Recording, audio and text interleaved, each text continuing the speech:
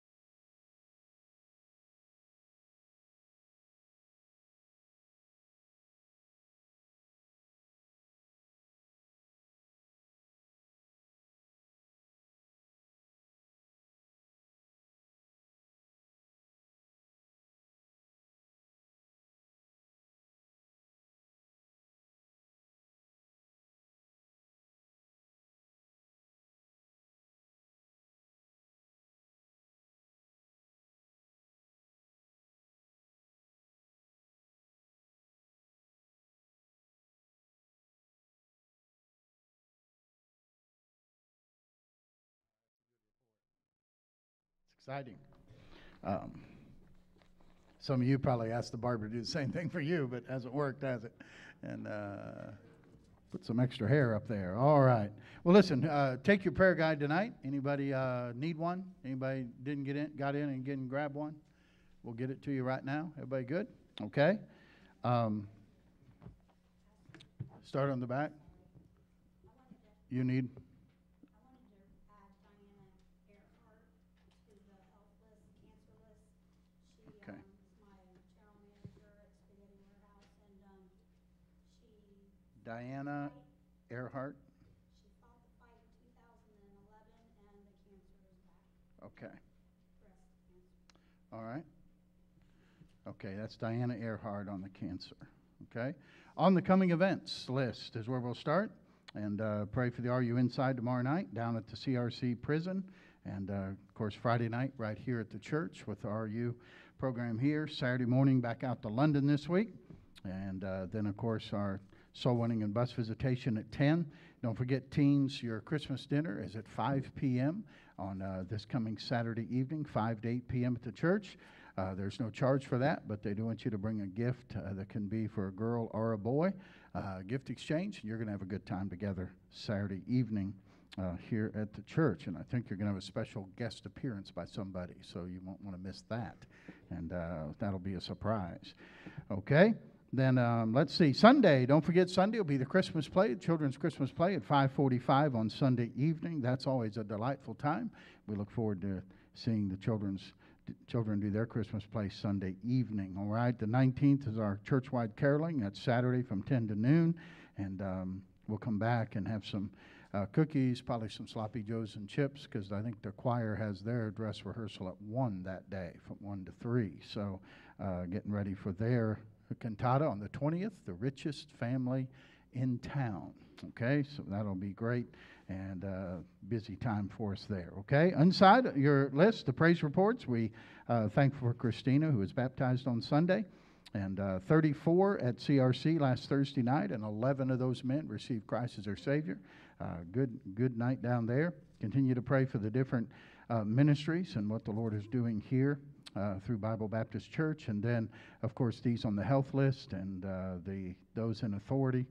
Uh, we continue to pray for those in our military, these who are battling uh, cancer. Another name to add on the cancer list there, if you would, add Kerry Keene. That's K E R R Y. I mean Kern, K E R N. Can't read my own writing. All right, Kerry Kern. He should be on there. And so put him on, if you would, please. And um, we'll then, of course, pray for these on the salvation list and those in the unreached people groups, and then our missionaries as well, especially tonight. Uh, pray for these folks who we mentioned in the restricted country, okay? All right? And uh, we'll remember those in prayer. All right? Let's see. I'll have Brother Yoder come and pray for us this evening, if you would, Brother Dave. Appreciate you doing that. And uh, Brother Yoder lead us audibly as he prays audibly for us. And uh, let's pray along silently with him, but let's unite our hearts together in prayer, okay? Let's pray. Our kind and gracious Heavenly Father, we do thank you for allowing us to come to you tonight and bring these requests to you. Uh, Lord, we are humbled when we think of all these requests by how needy we are. But Lord, uh, many of these people on this list are friends and family, so we'd ask that you'd intervene in a great way. We need your help and so that's what we're asking for tonight. We do thank you for the good report from this missionary. Lord, you know their name. I'm not sure whether I should mention it right now, but uh, we thank you for the good report that we heard. And we'd ask that you'd continue to work with that family so that they'd have a great impact in the area that they're at. Our Heavenly Father, we do uh, come before you and, and ask for this name that was uh, presented here concerning the cancer, this uh, Diana Earhart, I pray that you'd please uh, use uh, this lady uh, to be reached for you, and if she's already saved, Lord, that uh, her testimony would would be something that would help others with the same situation. I do pray for this Kerry Kern that you'd help there as well. And uh, again, Lord, this is uh, something that uh, uh, many of us will face.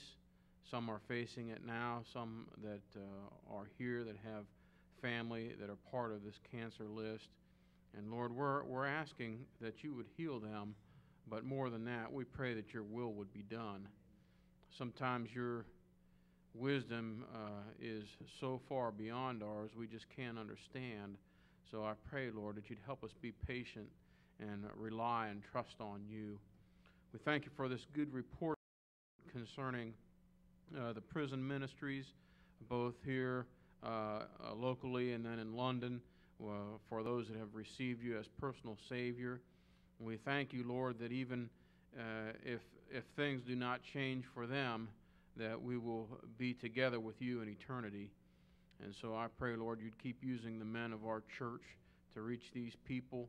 We thank you for the things that are done during the RU program and how it's growing as well. We'd ask for your continued uh, hand upon that. Lord, we would ask for those that are in authority, not just locally here in Grove City, but in our state and in our nation. Uh, we need your help in a great way. I pray, Lord, that our leaders would turn to you for wisdom, uh, quit using their own uh, head for counsel and for uh, the, the things that you've given them, and turn to you. Uh, without you, we're nothing, and I pray, Lord, that they would not forget that. I'd ask, Lord, that you'd be with these unreached people groups. Lord, at times we think that it's uh, impossible, but Lord, that's where you shine the most.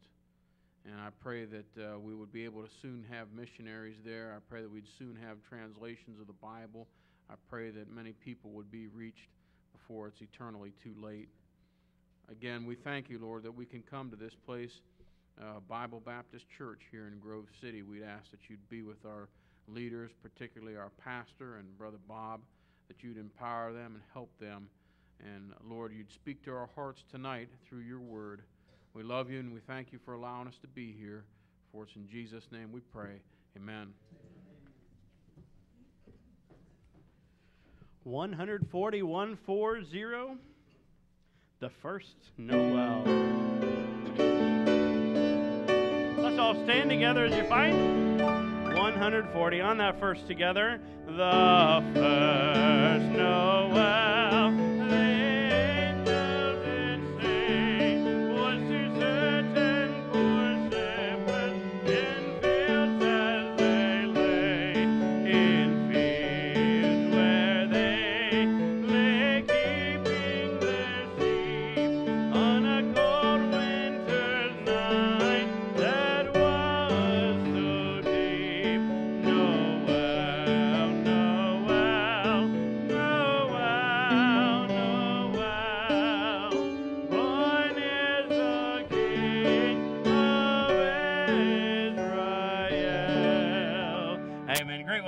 Somebody feel welcome, especially our guests. We'll come back and sing that last stanza together.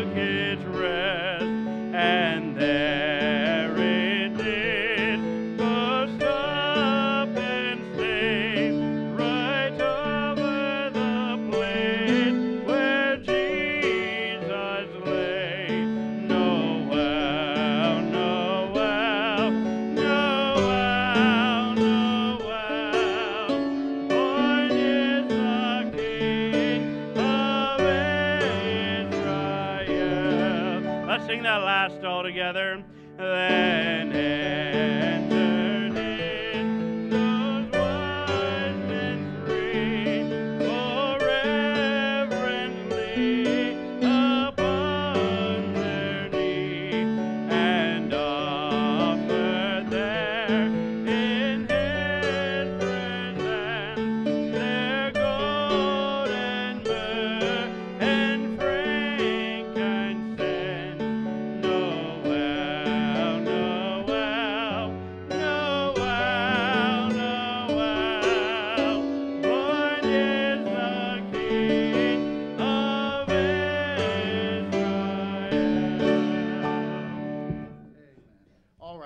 seated. Ushers will come and we'll get our offering tonight. And I, I should have mentioned that um, Kerry Kern is Kerry and Shelley Kern. They used to go to church here at Bible Baptist, and uh, I think they were. Did they have something to do with you and were you just friends of you and Kay, or did they have something with you two getting together? Yes, to both of those, or yes. All right. So, ah, all right. The matchmaker. Feel free to just speak out, Kay. It's all right. About it? Who's in charge of this meeting anyway?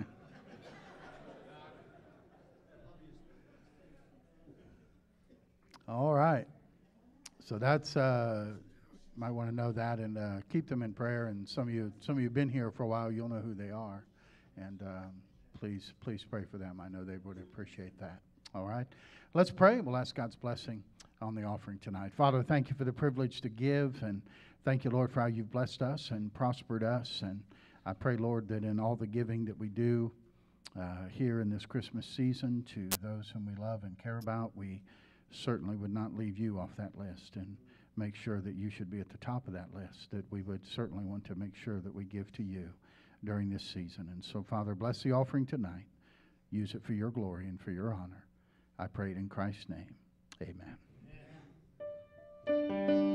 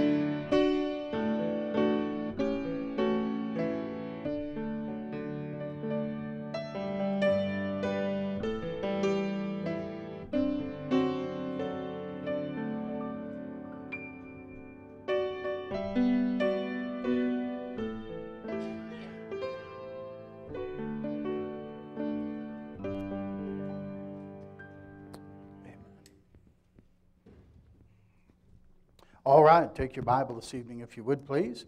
Joshua chapter 14. Joshua chapter 14.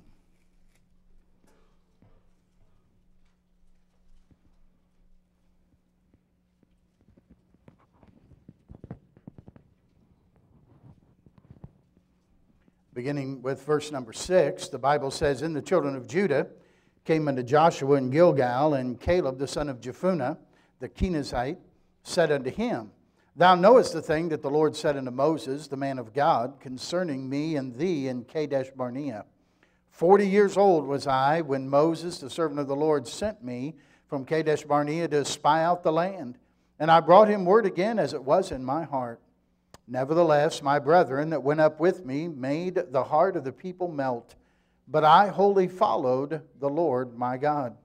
And Moses sware on that day, saying, Surely the land whereon thy feet have trodden shall be thine inheritance, and thy children's forever, because thou hast wholly followed the Lord my God. And now, behold, the Lord hath kept me alive, as he said, these forty and five years, even since the Lord spake this word unto Moses, while the children of Israel wandered in the wilderness, and now, lo, I am this day fourscore and five years old.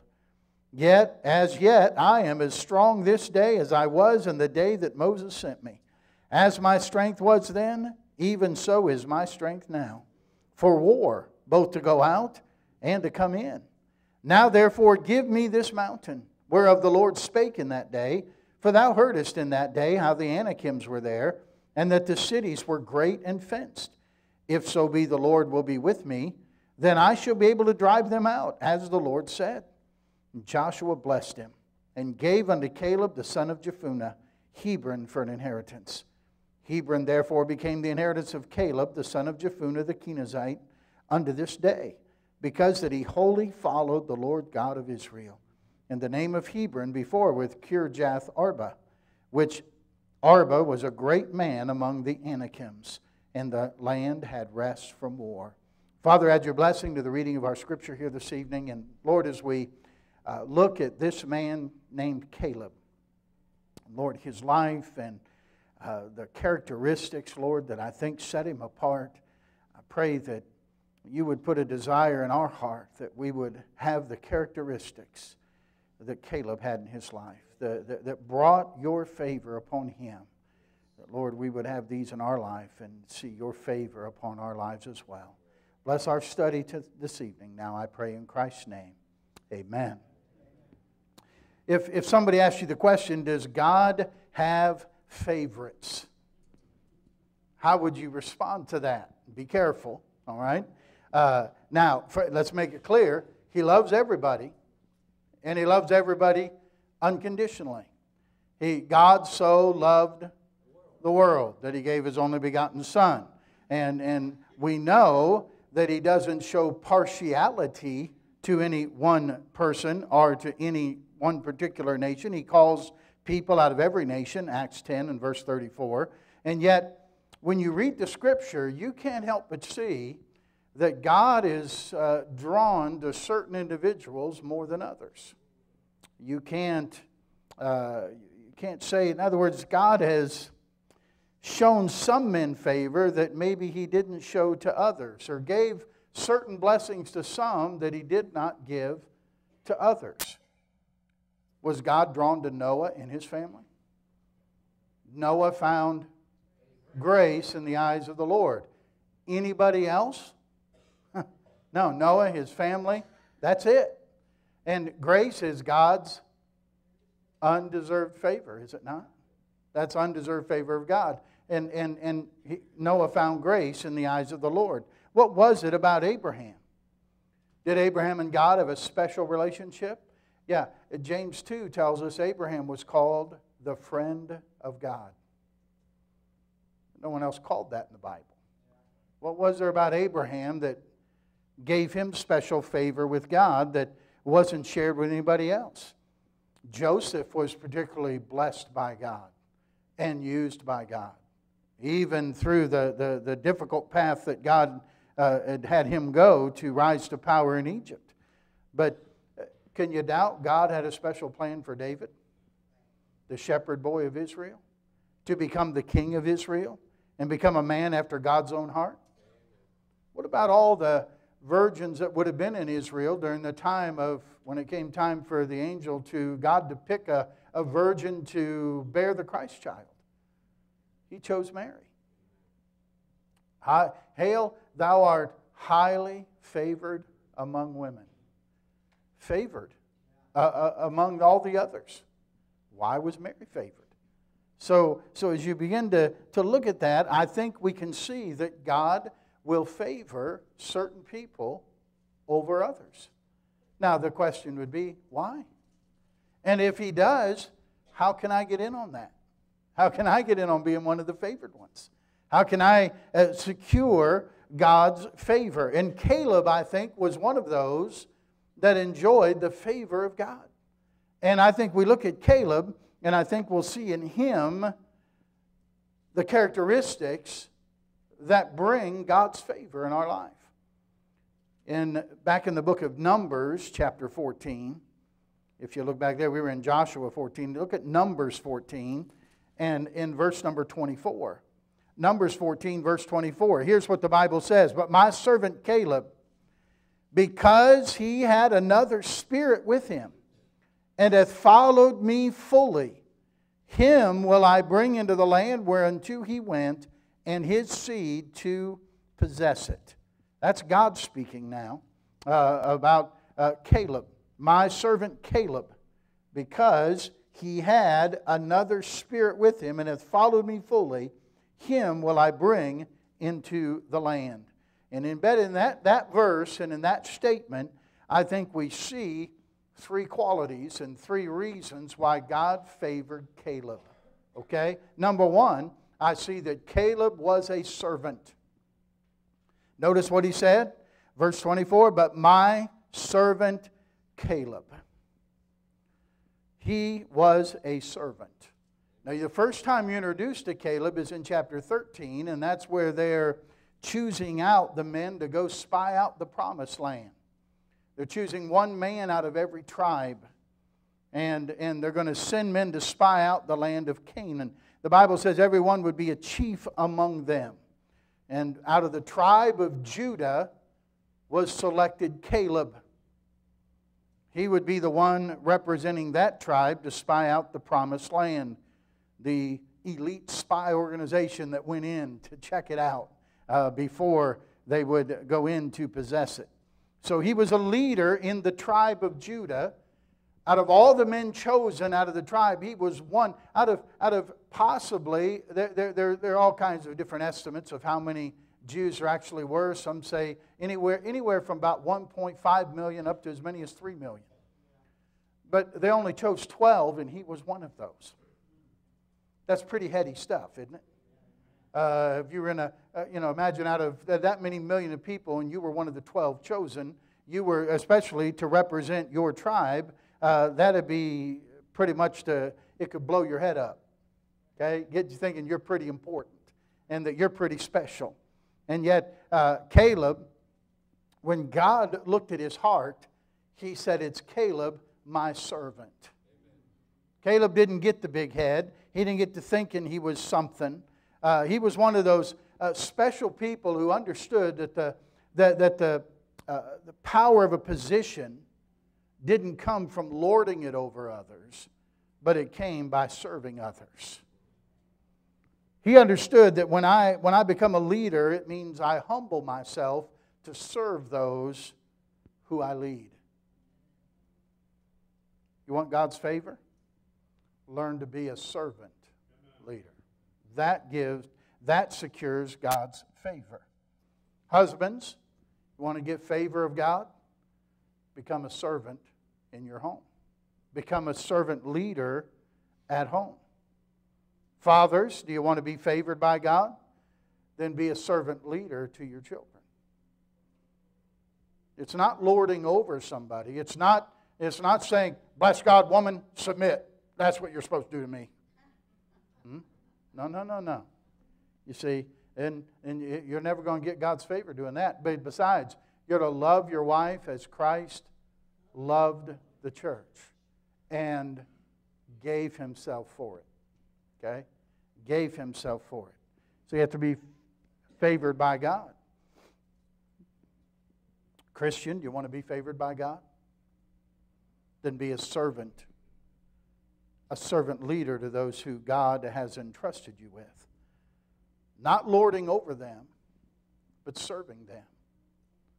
See, when, when, when you're a true servant, you don't say, Well, man, what do they think I am? A slave? Yeah. That's what we are. That's what, that's what we're supposed to be. Oh, I mean, you know, I don't expect everybody to just walk right over me. Yeah. Just serve what servants do. Servants serve. You can tell, you can tell whether you're a servant by how you respond when you get treated like one. And if you bristle and you, your hair stands up on the back of your neck, you got, you got some work to do. God has some work to do in our lives to get us to be servants. But that's who God favors. Ladies, you want to be favored by God? Then be a servant leader to your family. That servant leader is the one who is favored by God. Now, how does that happen? Hold your finger there in the Old Testament or put something in there, a piece of paper. But I want you to go to the New Testament and look at the book of Philippians. Will you go there, please? Philippians chapter 2. Galatians, Ephesians, and then Philippians. If you hit Colossians, you went too far. Come back. All right, Philippians chapter 2. Notice what it says in verse number 3. Philippians 2 and verse 3. Let nothing be done through strife or vainglory, but in lowliness of mind let each esteem other better than themselves. Look not every man on his own things, but every man also on the things of others. Let this mind, what mind? That nothing be done through strife or vainglory, that you have a lowly mind, that you esteem other better than yourself, that you look not every man on his own things, but every man on the things of others. Let this mind be in you, because where was that mind? It was in Christ Jesus who being in the form of God thought it not robbery to be equal with God, but made himself of no reputation, and took upon him the form of a servant, and was made in the likeness of men. And listen to me, he was God. He could have come and rightfully demanded that everybody serve him. But Jesus said, The Son of Man came not to be ministered unto, but to minister. I didn't come to be served. He came to serve. And he was God. Who are we to think that we should that we need to be served? Be a servant. Get the mindset. Get, get, get the same mind that Christ Jesus had. It's putting, putting other people's interests ahead of your own. Putting others people's needs ahead of my own. I wonder how much better our homes would be if we would just put everybody else's needs ahead of our own. Oh, sometimes it's sometimes we're good at that at work or, or at church, but then we get home and we're pretty selfish. Well, that's quiet. All of a sudden, it's, uh, it's what I want. I'm sitting down. I'm being quiet. Man, leave me alone, you know and, and all of a sudden we can get real selfish. Wonder how much better our homes could be if husbands and wives and children would have this kind of spirit to say, I'd like to be a servant. Wonder how much better our churches could be if everybody had this kind of a spirit. Just be willing to serve, willing to help We, you know what? We'd be better off because we'd all have God's favor. God favored Caleb, and he was a servant. He humbly served others as God's servant leader. He was a leader in Judah. He didn't say, I'm the boss. Everybody do something for me. he just served. And God saw his heart.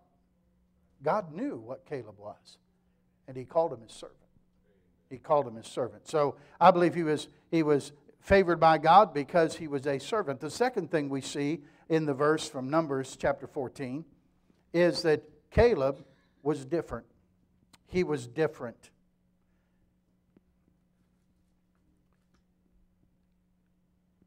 He had a different spirit about him. When you go to Numbers 14, and the spies have come back with their report. They, in fact, they've, they've already given the bad report at the end of chapter 13. Verse 1 of chapter 14, notice what it says. All the congregation lifted up their voice and cried, and the people wept that night. And what happened? Well, they began to murmur against Moses and against Aaron, and the whole congregation said unto them, Would God we had died in the land of Egypt, or would God we had died in this wilderness? Be careful what you ask for. They're gonna, God's going to answer that prayer. And, and wherefore, the, the Lord hath brought us unto this land to fall by the sword, that our wives and our children should be a prey. Were it not better for us to return to Egypt? And they said one to another, Let us make a captain, let us return into Egypt. And Moses and Aaron fell on their faces before all the assembly of the congregation of the children of Israel. And Joshua the son of Nun and Caleb the son of Jephunneh which were of them that searched the land, rent their clothes. That doesn't mean they gave them to somebody for some money. Uh, it means they tore their clothes, okay? sign of great grief and concern. And they spake unto the company of the children of Israel, saying, The land which we have passed through to search it is an exceeding good land. If the Lord delight in us, then he will bring us into this land and give it us, a land that floweth with milk and honey. Only rebel ye not against the Lord, neither fear ye the people of the land, for they are bread for us. Their defense is departed from them. And the Lord is with us. Fear them not. Oh, and here you see the, the different spirit that Caleb and Joshua had compared to the rest of the children of Israel. They had a different spirit about it. And, and you, you can look at, you can read the report at the end of chapter 13, and you, you'll find that they talk about, they both come back and say it's a good land. And then immediately the other 10 start talking about the giants and the fenced cities and how big everybody is and, and how hard it is and how difficult the land will be. And, and, and they're, they're, they're having a, a difficult time. And then Caleb and Joshua stand up and they're different. What made them different? I'll tell you what made them different is they brought God into the conversation.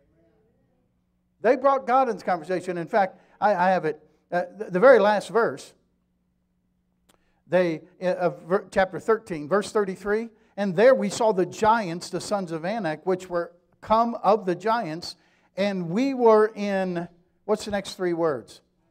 Our own sight as grasshoppers, and so we were, what's the last three words? So we have our sight and we have their sight. Whose sight you missing? God's sight. What about God? Where's God in all this? They had no thought that God wasn't in the conversation until Joshua and Caleb noticed when they start talking.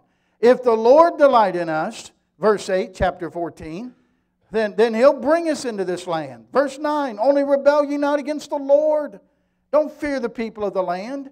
He said, they're, they're, bread, they're bread for us. Their defense is parted from them. The Lord is with us. Man, they're just, they're focusing on the Lord. That made them different than several million others. Pretty amazing. And so they, they, they knew, listen, because God was ruling in their heart, God was in their heart, He also was on their lips. It's out of the abundance of the, of the heart that the mouth speaks. You know what? You just, if we could follow you around for 24 hours with a tape recorder and record everything you say for 24 hours, we'll be able to tell you what's in your heart. Because your speech will betray that. Would, you, would there be a lot of talk about God? Would there be a lot of talk about Jesus? What's in your heart? What set him apart was God was there. And what's in his heart came out of his mouth. And their focus was on the Lord. And there's no doubt we as Christians are to be different people. Bible says we're peculiar people. We're, we're, that doesn't mean you're odd, though we're odd to the world. It means we're, we're special to God. We've been, we've been set apart to Him. And our outlook on life is different than the outlook of the world. Someone who doesn't know God, someone who does not have God in their heart. And because our outlook is different, our priorities are different. And when our priorities are different, then our activities are different. My actions are different. And that means my moral and ethical standards are going to be different from those who don't have God in their heart. Different than the world. You hear all the time that, that we're to be different from the world in the things we do. Be not conformed to this world. Be transformed by your mind. And usually, usually it follows that is uh, you know the list of things that we shouldn't do to be like the world, and nothing's wrong with that. But here, he's not just talking about the outward things we do. He's talking about a different spirit in Caleb, a different spirit within Joshua, where they saw God in everything. Blessed are the pure in heart, for they shall see God. And what that means, not that they'll see God, he's saying they see God in everything. You begin, when your heart's pure in the sight of God, you see God working everywhere. And you'll see God in every situation because He is in every situation. He is working in everything. And then you'll begin to see that. And you have a different spirit about it. I see the things that are happening in the world. But listen, there's as a as, as a, a believer, and by the way, don't don't don't think. I think one of the hard things we're going to have in the American church is, is separating our, our, our, our belief and, and what we should look at as a believer from what we look at as an American. They're not the same. Some of the things I want to do as an American are really, in, in reality, contrary to the Scripture. but this, you know who's in charge of the whole thing? God is. And so when I, when I get the right outlook, I'll say, you know what? Hey, God is all this that's going on. It seems like it's crazy and it seems like it's wild and what is happening, and everybody's thinking, what, what's happening in this world? And you know who, who shouldn't be panicking or who shouldn't be wondering?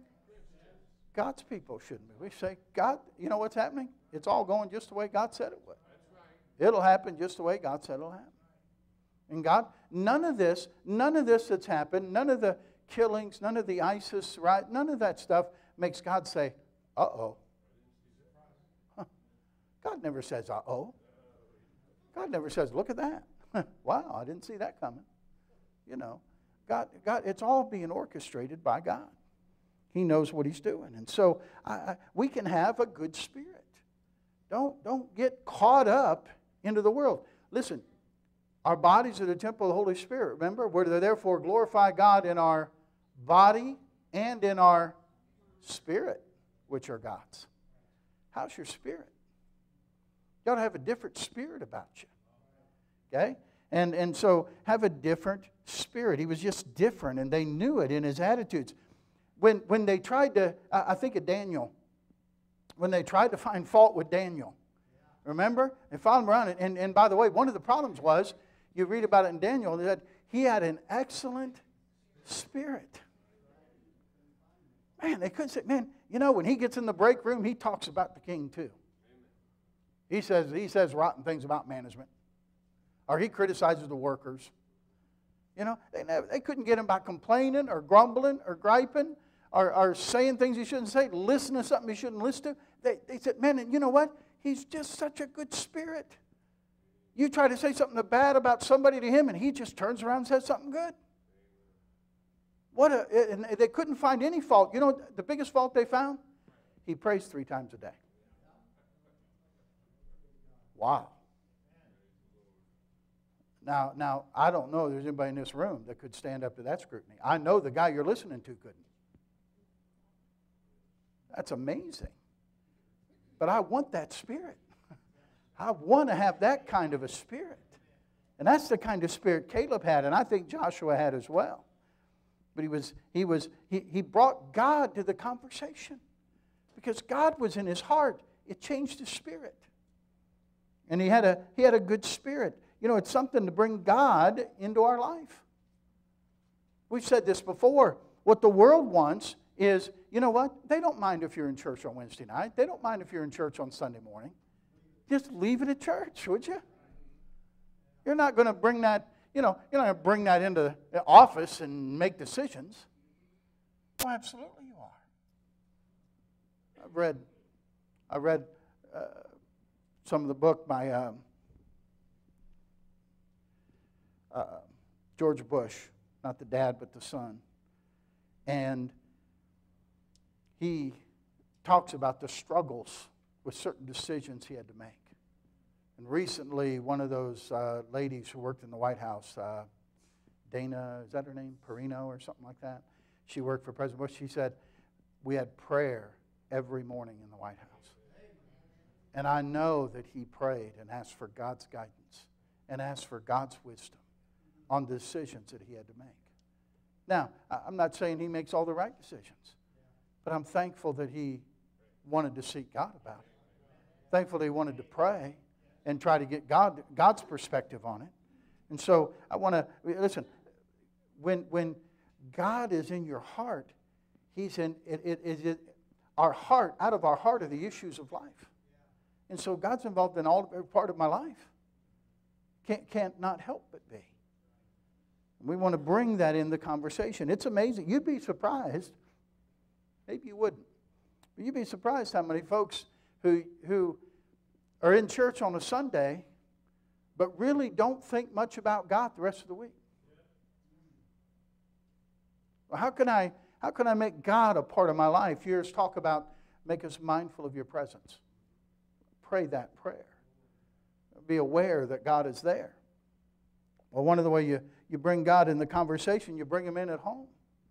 You've heard me say, and I don't think this is on your paper, but you talk about him at home, you know, you've often heard me say, if your Christianity is not good at home, it's not any good.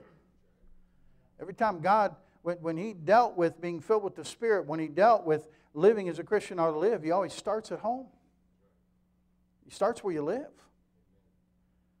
And those words in the Old Testament, he said, listen, uh, remember the hero Israel, the Lord your God is one Lord? And he said, You're going to teach these diligently your children. You're going to talk about them when you lay down, when you rise up, when you walk by the way, when you're going to, um, all day long. You're to talk about him in your home. Is God part of your conversation at home? One uh, uh, student in Sunday school said, Well, his parents don't talk about God at home, they're just too busy. Well, that's awful sad, isn't it? It's supposed to be a Christian home. How do you get the favor of God at home if you never talk about God at home? If you never bring God into the conversation at home? We need to bring God in the area, and I think this may be you know, You need to bring God in the area, area of our conversation in our plans, plans that we make. How many times do we plan things and don't even think about God? What did James tell us? James says we should say, if the Lord wills, I'll do this or I'll do that. We're so easy to say, yep, I'll be there. Hey, let's do this. Yeah, you know what we're going to do next year? Boy, we're so quick to just, just throw it out there and, and without giving thought, if the Lord will. I got news for you. If God's not willing for it to happen, it ain't happening. And God can change our plans. Amen. Paul told the people in Acts 18, it's in Him, in God, that we live and move and have our being. It's a matter of us recognizing that we live for His will. Do we live for our will? No, that henceforth, but Peter said, you, show, you don't live the rest of your time in the flesh now that you're saved. You don't live the rest of the time in your flesh to the, to the lusts of the flesh, but to the will of God. Now I want to do what He wants me to do. I'm going to live how He wants me to live. Whenever there's a situation, you say, God, what's your will in this matter? What do you want? And I want to do what God wants. And it's okay to let other people know. Hey, I don't care if the person's saved or unsaved. You say, you know what, Lord willing, I'll be there. And make sure that they know that God's involved in your life and you're concerned about doing God's will. And you also bring God in the conversation of your life with thanksgiving. In everything, give thanks, for this is the will of God in Christ Jesus concerning you. Oftentimes, we're good at giving God thanks in private, but we're not so good at giving Him thanks in public.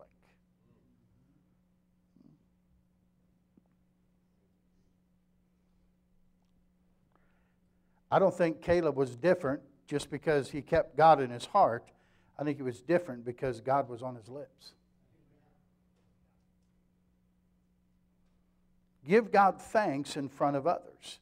Two scriptures to look at. Will you look at them with me? First one is Psalm 35, the 35th Psalm. Are you doing all right? Everybody okay? Psalm 35. It's good to study the Bible. Psalm 35. Notice what the psalmist says here, David, Psalm 35, verse 18. Here he says, I will give thee thanks where?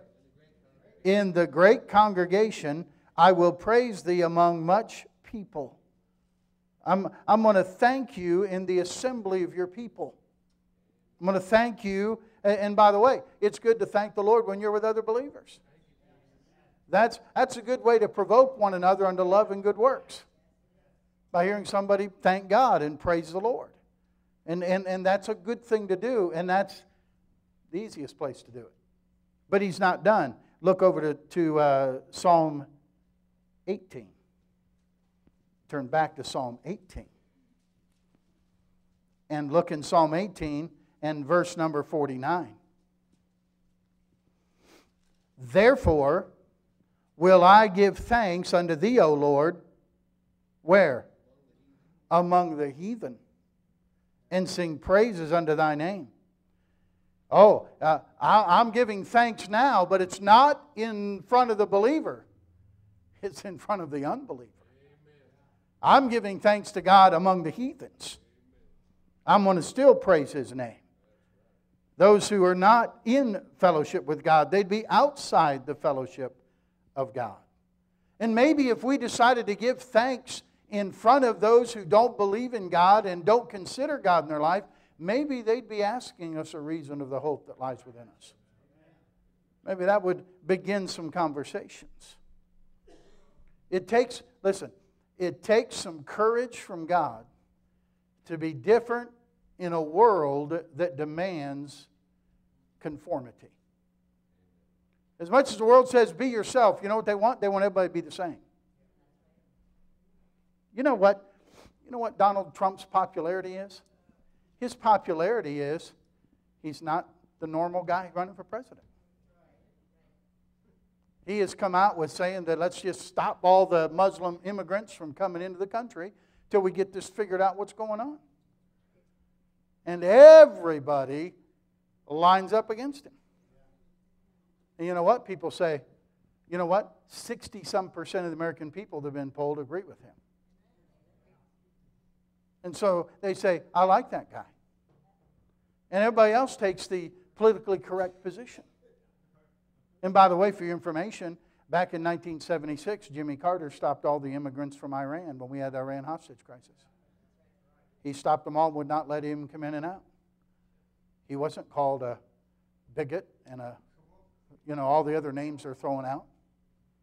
And I realized not only was he a different party affiliation, and, and the, the press is, didn't want to attack that, but it was a different day in which we lived then, too. You have to understand that.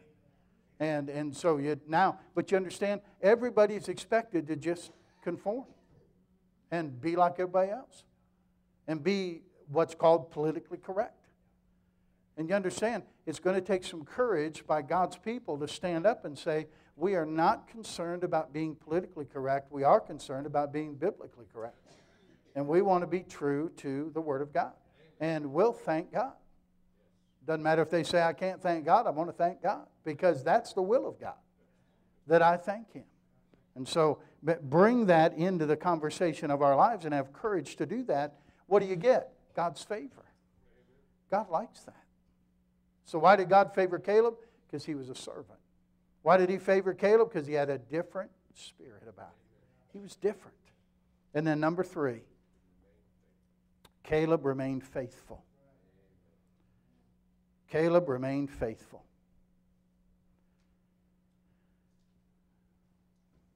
In Numbers 14, what, the, what he said here, because my servant Caleb, because he had another spirit with him, and here it is, he hath followed me fully. Him will I bring into the land. He hath followed me fully. I think that's another way of saying he's remained faithful. He's remained faithful to me.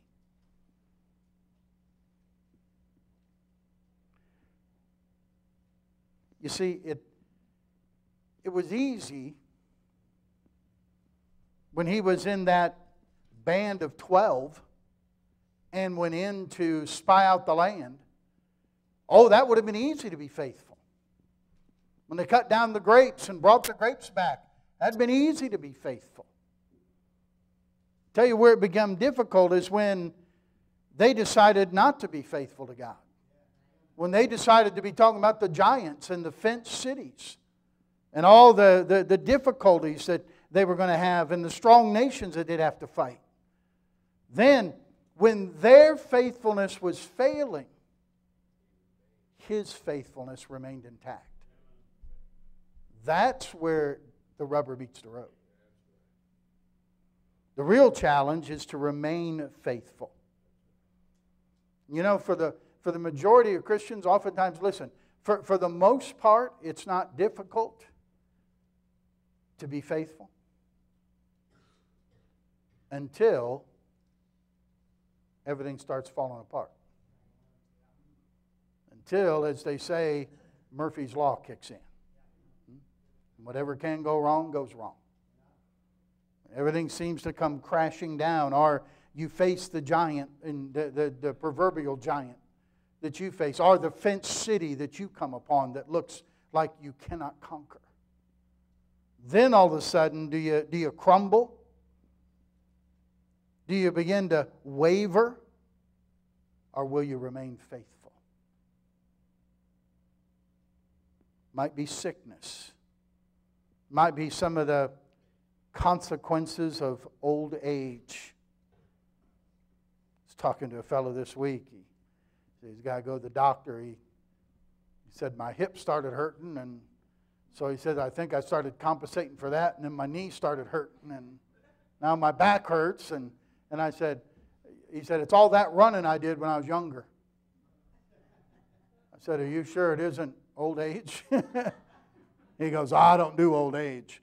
Well, it could be just old age. But don't give in. Don't give in to that. Listen, embrace God's favor by remaining faithful. Embrace God's favor by remaining faithful. Might be temptations of Satan that you struggle with or fight against. Don't budge. Resist him. Resist the devil, and he will flee from you. Boy, we, we forget sometimes the, the plain commands of Scripture. He'll give you the ability to overcome. You can remain faithful. When you get over to Joshua 14 that we read this evening, you're in the last scene of Caleb's life. By this time, Caleb is 85 years old. In his case, it really is 85 years young. He makes some amazing statements here, just amazing. That he can go in as he did just was 40 years old. I'm not 85, but I'll tell you, I'm, I'm not doing what I did when I was 40. Wish I could. Think about the, the, just the arthritis, you know. Used to play racquetball several times a week, and man, when I just think about grabbing onto that racket, my hand hurts. It's amazing. I don't know that I could grip it and hold on to it much anymore. It's, uh, it's just the, the, the you, you don't normally, you're not able to say that I'm able to go. Listen, he didn't just say, I'm just strong. Anybody says, yeah, yeah, sure. No, no, no, no. He says, I'm able to go to war just like I was then. He said, Okay, I'm going to give you this part over here, but I want you to know that's where the giants were. And Caleb said, Bring them on. Bring them on. God, God promised it to me. God's, God, God's able to do it then. God's able to do it now. He still kept his focus on God. He, was in the twilight of his years, when he watched everybody else, 20 and younger, that, that, or 20 years and upward, that died in the wilderness. He watched them all pass off the scene. And he remained faithful. He remained faithful to God. You know, it's a blessing to see people when they get into the twilight of their life to stay faithful to God. It's, it's a, I used to listen to Dr. Howes at pastor school, and he would sometimes have different age groups stand up. You know, oftentimes when it got into the 50s and 60s and up into the, those in their 70s, there were just a few sprinkled here or there. Most of the ones who were there were young men. And I don't know whether the old ones felt like they don't need that anymore. I, I, I, I- I hope it isn't because there just weren't that many that were still faithful. Remain faithful. Caleb was 85 and still going, still being faithful, remaining faithful. He conquered Hebron in Judah, and there he conquered Debir, and he was able to accomplish all that God wanted him to conquer. He did it because he was a servant, because he was different, because he remained faithful. He's able to conquer the land and receive his inheritance. Why? Because of God's favor on his life. Do you think, you think everybody there? You think anybody? It, I, I would venture to say, even those who were under 20, that now, after 40 years, 45 years it is now, that they've got into, into the land. Caleb was 40, now he's 85. So let's say somebody was 18, they're now 63. Do you really think there's some 63 year olds that would stand up and say, I'm just like I was when I was 18? Give me that land? I don't think so. I think God favored Caleb. I think he was a wonder to people. How many people looked at him and thought, man, I don't believe this guy? Look at him fight. Look at him conquer. What a different guy. What a great man. Faithful Caleb. Don't hear much about him sometimes. He's always usually mentioned with Joshua because they were the two that gave the good report. But I like Caleb.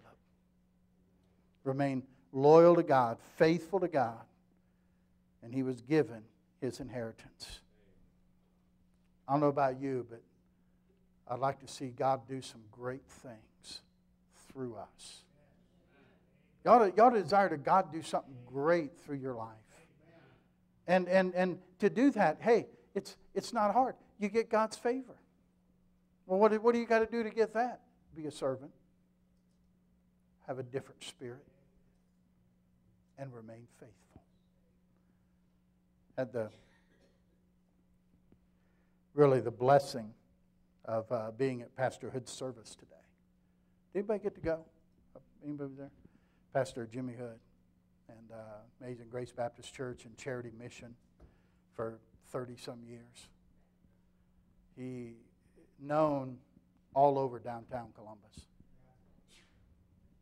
And what a if you if you had to just think when he just listened to all the different ones that got up and said how he impacted their life, whether it was other preachers, whether it was people that had been led to Christ by him, whether it was family members that spoke about the influence he had in their life.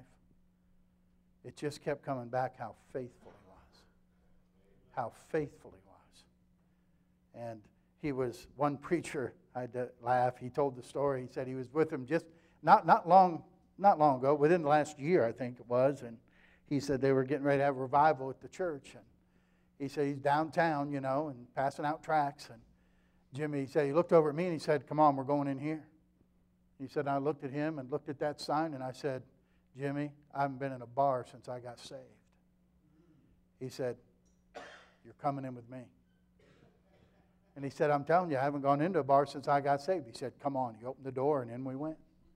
He said, we walked in the door and the bartender said, Hey there, preacher, how you doing? He said, Hey, we're doing great. He said, Got a revival coming up down in church. Need all these people to come. He goes, Need to put some posters up. The bartender said, Well, you know what wall to put them on where they all read. So he walked back to the restrooms. He said, Knock on the door. Nobody in there. Went in the ladies' room, hung one up.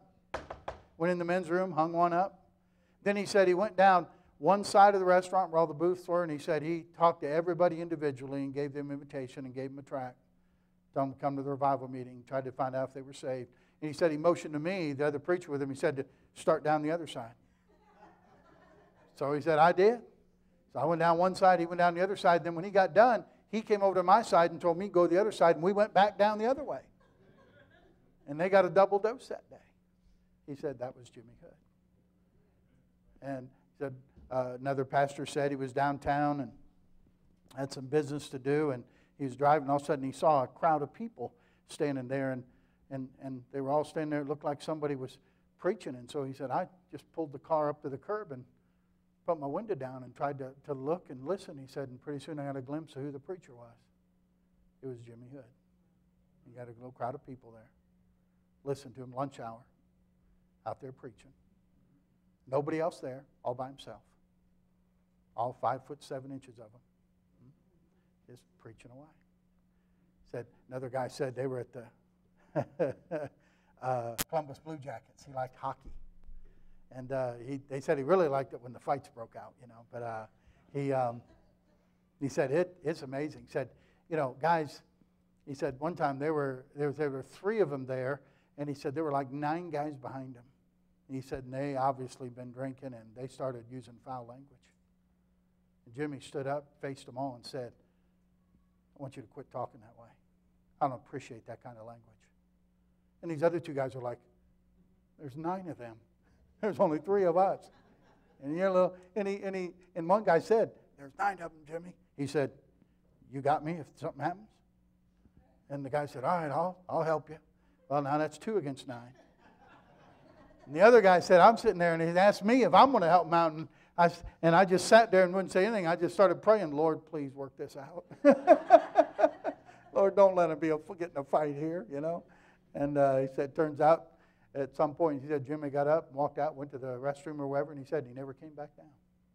He said, and God spared us from getting into a brawl that night. But uh, he, he, he said he never would put up with somebody using foul language around him. He would say something to him and, and speak up for the Lord. Just remained faithful. And uh, you know what? Uh, that's the way you want to live.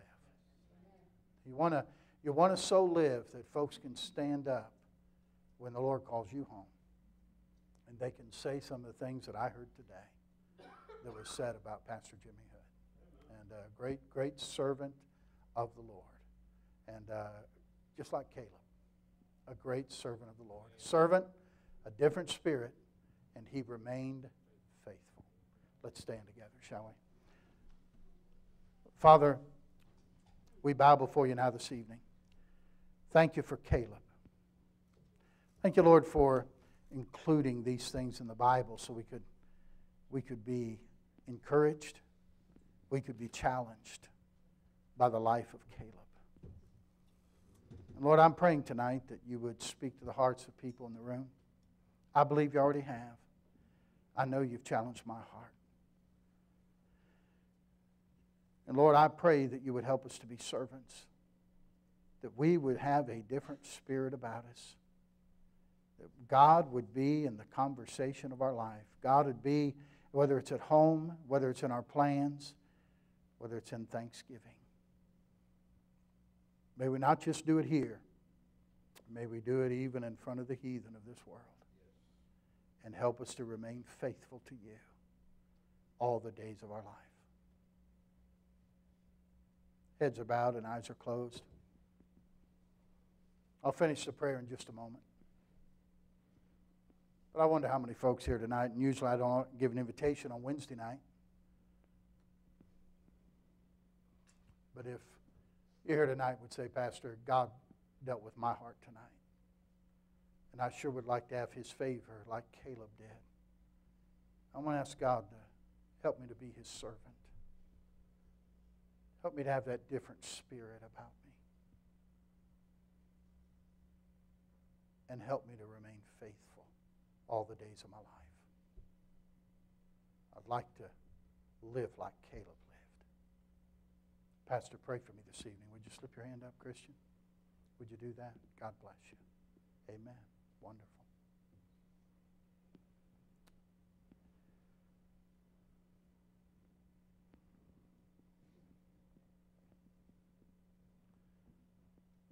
I'm going to have Lisa play just a stanza, just one stanza. If you want to come and pray this evening, I want you to come and pray. Ask God to do, do that work in your heart. Would you do that while she plays?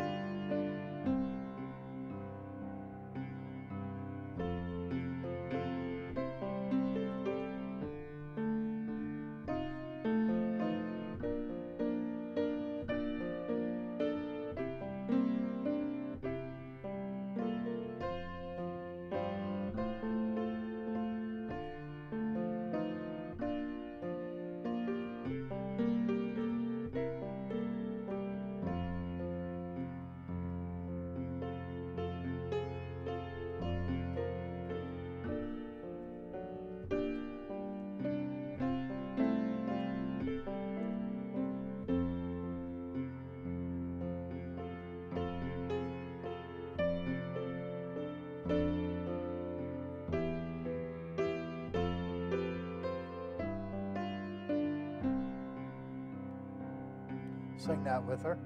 Turn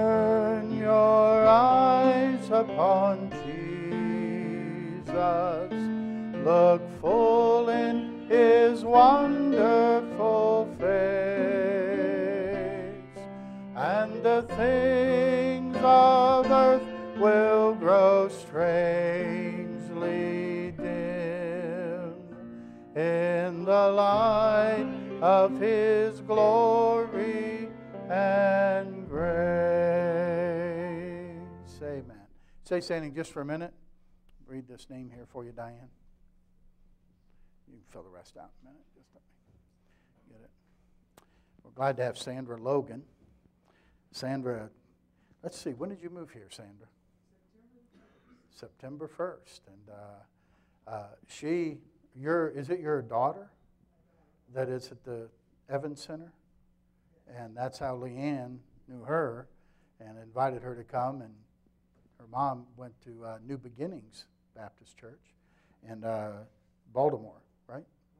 Baltimore, Ohio. And um, so she came to visit and uh, been coming ever since.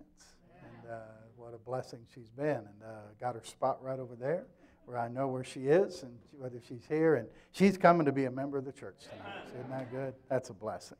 And uh, Sandra, we're glad to have you. She'll come by transfer from New Beginnings Baptist Church. And all those in favor of welcoming her into the fellowship of our church, let it be known by an eye. Aye. And opposed by like sign. Okay, we're good. That's great, Sandra. We'll, uh, we'll have you take her to the back there so folks can greet her as they go out and welcome her to the family. All right, that's wonderful, Sandra. That's great. Amen. All right. Um, if you have not signed up for the Christmas dinner and you want to go, make sure you see Carol tonight. I got an email today. They want a fi- final count, so I got to give that to them. And uh, if if they're just if it's just a matter of your finances, okay, if that's all it is, and you see Brother Moreland, he'll take care of it for you. And uh,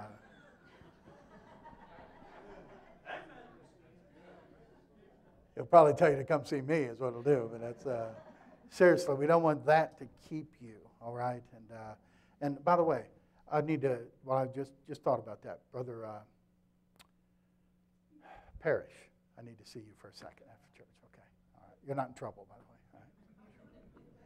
All right, let's pray, shall we? Father, thank you for tonight. Thank you, Lord, for Sandra. Thank you, God, for working in her life, Lord, and, and bringing her our way. We see your hand in it all. Lord, I pray will be a, a blessing and encouragement to her as we serve you together here. Lord, thank you for meeting with us tonight. Thank you for Caleb and the helpful and the blessing, the challenge he's been to our lives this evening. Now, Lord, help us to be doers of the word and not hearers only. Uh, help us to go from this place and may others see Christ in our life. And we'll thank you for it. We prayed in Jesus' precious name. Amen. Amen. Well, it's wonderful. Isn't he wonderful? That's what we'll sing. Isn't he wonderful? Isn't Jesus my Lord wonderful? Isn't he wonderful, wonderful, wonderful? Isn't Jesus my Lord wonderful? Eyes have seen, ears have heard, it's recorded in God's Word.